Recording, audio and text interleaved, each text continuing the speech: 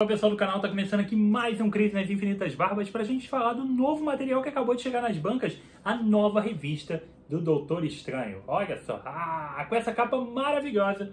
Doutor Estranho, a vida do Doutor Estranho. Material que chegou agora ao preço de R$ 39,90 com 136 páginas de quadrinho, trazendo a nova revista que começou a ser publicada ano passado nos Estados Unidos, do número 1 ao 5. Aqui a gente tem um retorno do personagem após sua morte, Vou ser sincero, tá? E acho que serve muito como exemplo para qualquer um que estiver afim de comprar.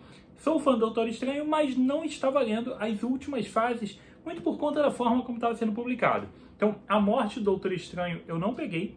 Também não peguei a fase seguinte, em que a Clea, a atual esposa dele, né? Aquela personagem, a sobrinha do Dormammu, o grande vilão do, do do Doutor Estranho, que acabou de aparecer também no final do filme, do último filme, né? Então, essa personagem, ela assumiu o manto de Mago Supremo, tá? E agora a gente tem Doutor Estranho de volta à vida, seguindo sua vida normal com o Mago Supremo, casado com a Claire. Barba, e como isso tudo aconteceu? Não faço ideia. E esse é o ponto, cara. Eu acho que a gente, primeira coisa, a gente tem que se preocupar um pouco menos com a questão cronológica das coisas e com desespero para saber tudo, tá? Porque senão você precisa comprar a fase anterior, e aí a anterior, e aí a anterior, e daqui a pouco você tem que comprar a revista dos anos 60 lá do Stan Lee com o Steve Ditko. Então não há essa necessidade toda. A gente sabe o que morreu, a gente sabe o que voltou e começa a partir de agora. Acho que dá para entender muito bem e acho que dá para acompanhar sim. Se você tem vontade de começar a comprar a fase nova do Doutor Estranho, você curte o personagem ou quer começar a ler agora, pode começar a partir dessa daqui sem nenhum problema, tá?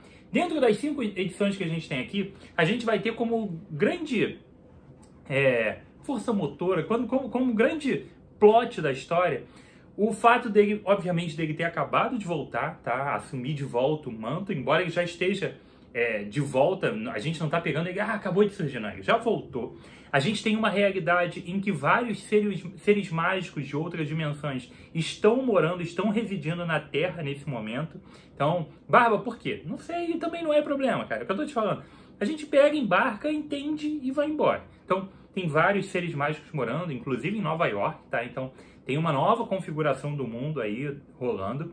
A gente tem outros é, magos supremos de outras realidades, tá? Que estão também aparecendo na história. A própria Clea, que é a esposa do Doutor Estranho, ela é a maga suprema do, do Reino das Trevas, alguma coisa assim. Então, ela também é uma maga suprema. Tem um outro personagem que vai aparecer aqui, que é o mago supremo de uma outra área, e que supostamente é um dos responsáveis pela morte, pelo assassinato do Doutor Estranho. Então todos esses personagens vão estar interagindo e a gente vai acompanhar o Doutor Estranho nessa primeira chegada, nessa retomada dele ao posto de Mago Supremo.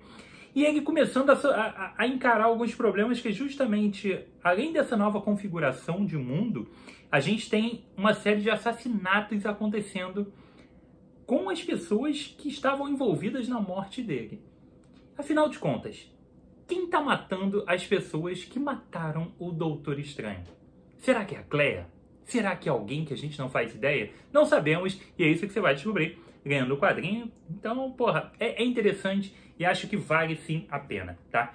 Dentro dessas cinco histórias, a gente ainda tem alguns outros pontos interessantes para serem abordados, tá? A gente tem o a varinha, que seria uma espécie de shield, tá? É um departamento ali uma força militar, uma força governamental, enfim, é, é, é um grupo, só que referente a crimes e, e, situações mágicas. Então tem uma sigla, assim como a Shield Varinha, que eu não vou fazer ideia de qual é a sigla aqui para vocês, tá? Mas tem essa varinha, e essa varinha, cara, ela tem alguns, alguns personagens, alguns, alguns personagens aqui que tem esses elementos mágicos, e o principal deles é o Wong. O Wong não faz mais parte de de ser o ajudante do Mago Supremo, tá? Então ele agora tem uma roupa tipo da Shield, só que da varinha, e ele tá agindo como agente de campo aí dentro desse dessa desse braço aí de força militar contra crimes mágicos, tá? Afinal de contas, o mundo agora tá muito mágico, então existe esse grupo agindo ali de uma maneira bem diferente também. Isso é bem importante e bem ativo e presente na história, tá? Então a gente vai ver bastante da varinha rolando aqui nesse material. Não, não existe um. O Doutor Estranho não está agindo junto com eles, tá?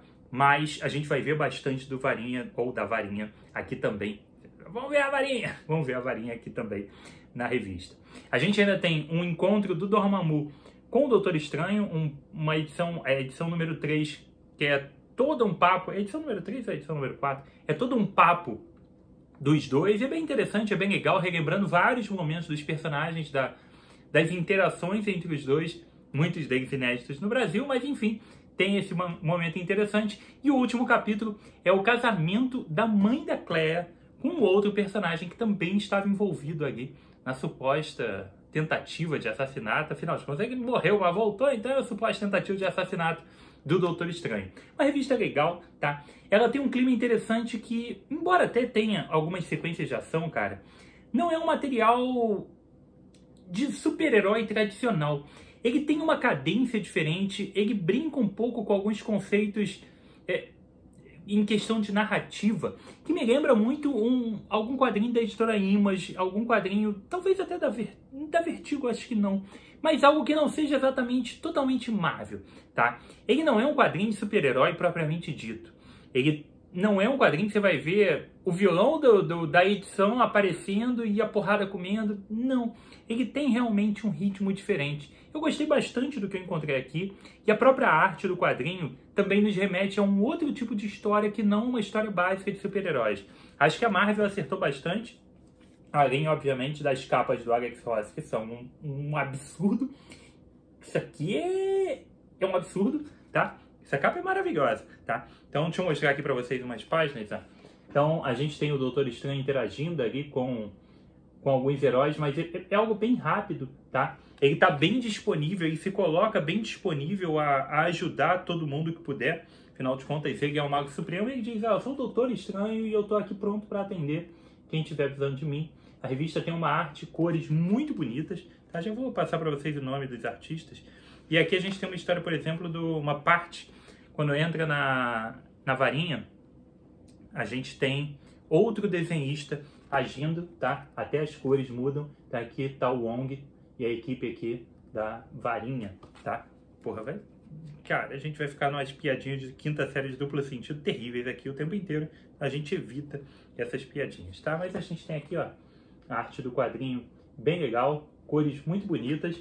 E é um quadrinho que eu, que eu, eu me diverti bastante. Eu sou muito fã do Doutor Estranho, então acho que é, é sempre bom pontuar que se tu curte esse mundo da magia, esse lado mágico da, da Marvel e esse personagem, pode ser um título bem bacana para você acompanhar.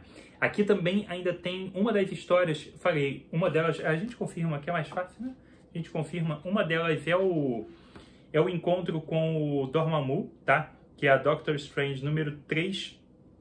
E a gente tem a edição número 4, que é totalmente focada na varinha, não tem, não sai do, do, do foco do Doutor Estranho para ficar totalmente focado em algumas ações da varinha. Uma edição legal, cara. É um material realmente bem bacana, tá? Ah, o roteiro do material como um todo é do Jed McKay, menos a edição número 3, que é o Dia com Dormammu, o encontro dele com Dormammu, que tem o roteiro do, da Amy Shu. A arte fica por conta do Pasqual Ferry, do Andy McDonald e do Tokitokoro.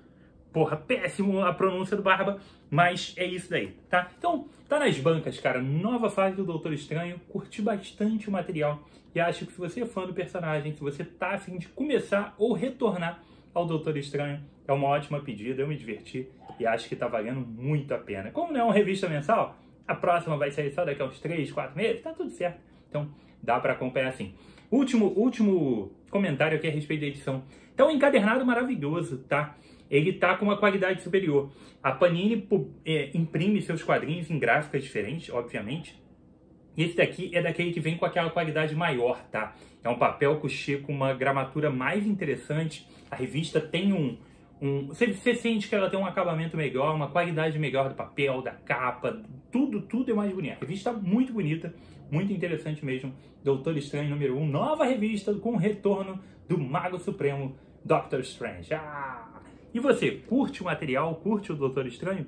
Deixe seu comentário aqui embaixo, diz pra mim o que você achou dessa revista, o que você achou do programa, o que você acha do Barbas. Escreve aí pra mim aqui embaixo, beleza? Se for comprar a sua revista na Amazon, use os links do Barba que você ajuda demais o trabalho do canal, tá? E não se esqueça de se inscrever lá no Insta e aqui também, obviamente, beleza? Então foi isso aqui comigo, Rodrigo, mais um review de quadrinhos Um abraço e até a próxima.